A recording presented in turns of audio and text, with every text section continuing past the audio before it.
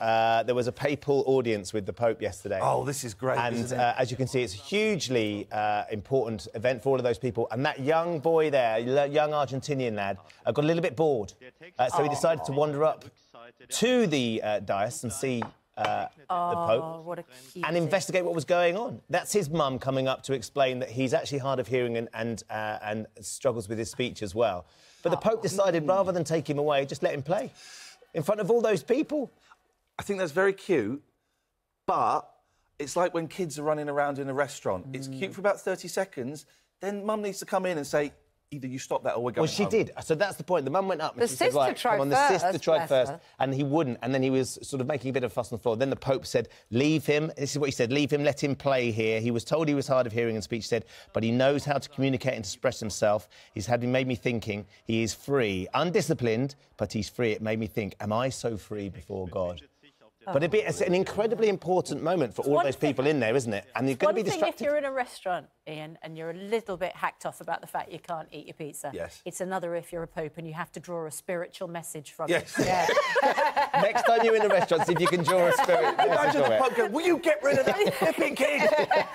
Trying to bless everybody. It's a lovely clip, though, isn't it? One of those other things that restaurants, talking of being irritated in restaurants, uh, a new uh, uh, a ban has come it's into doing, play. it's trying to have a meal with someone and they're like, I just got an email, just got to do This another is email. our no phone box we're employing. A, a restaurant chain has decided that they're going to to try and encourage families. Put your phone in. Right. Put your phone in. Really? Trying to encourage families. I've got a lot of shopping to do this morning. I can't You be. don't Uh, I don't bring my with You can phone put on your set. iPad I'm. You're the only one. professional. You've only just the it iPad to you. So what they've done is basically they've got so fed up, or the, the idea is that, ever, that the kids have got so fed up with their Yeah. parents using their phones while they're at, at meal times that they're encouraging people to put their phones into a box. If they do, for the period of the of the meal, kids up to the age of 14 eat for free.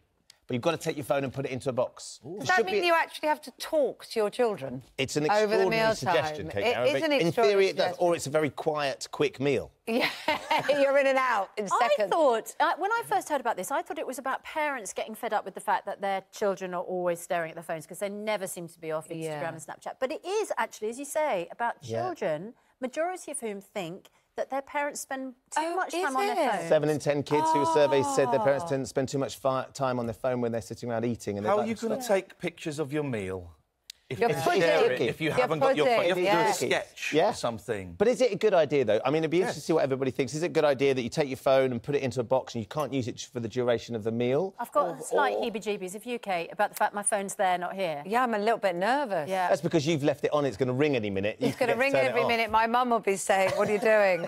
Oh, but the, and also the other thing though, this this particular chain, because I've been there with my kids, it's very nice and enjoy the meal. You can actually Frankie and pay, Benny's, well, you you can pay. You can pay with your phone as well, and you can get the receipt sent to your phone. You can actually ah. do it all on your phone while you're sitting at the table. They have actually created that facility. You can pay on your phone at lots of the no, end, but, but, at the but, end but they can well, go if you get our app, then you don't even have to order the bill. You can just say pay and you can Oh, pay and then and leave. They've actually made it even quicker, so you don't have to order the bill and all that sort of stuff. It's like you know they've they've facilitated. Not having your phones in the meal. box, though. No, you've got to get your phone out. of You're your having box. a meet at home. We don't have uh, phones by the table. Do you not? No. No, We don't. And I've started, and it's really hard. But if I'm going out for a meal with friends or something, or, uh, uh, I'll leave the phone behind and go out What? into the street You leave the house, without a telephone. You go out close commando. the front door Yes. behind you Yes. without your phone. That's exactly what I do.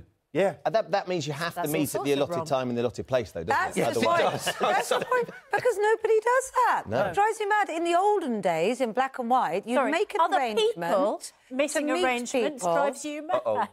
Yes, I know. I realise there's an element of possible. People in glass But you know, and you and you met and you all showed up. Now you say to people, and they say, "Oh, I'll text you when I'm there, and I'll let you know where you are." We and you're said like, 7.30. I'll see you at 7.30. That should be That's the deal. But what Simple, happens if something it? goes wrong? I mean, the reality is Oh, that these things have been created to make life more convenient. So if something restaurant. goes wrong on the way, Either phone my mum up and tell her you've got to have a can't come out. landline to do that, or you've got to find a phone box. There's not as many phone boxes these days. You've got to have 10p. What's do you that not? phone Oh, box? Say all the children watching. Yeah. 10p as well. I mean, it's about two quid now in a phone Oh, box. is that what it is? Iain spends a lot of time sitting in restaurants going, "Well, they said 7.30. on my own. No one turns up. Meanwhile, your phone at home weird. is just pinging. That's brilliant. All your mates are like, let's tell him we're going there at 7.30. He won't have his phone. We'll go to the I'm pub going to be honest, door. mate. I don't actually have any friends. oh, you've always got friends here. Iain. That's why we've Yeah. Can I come round to your houses? They're No. 6 till 8.30 in the morning. Okay. Um, I tell you something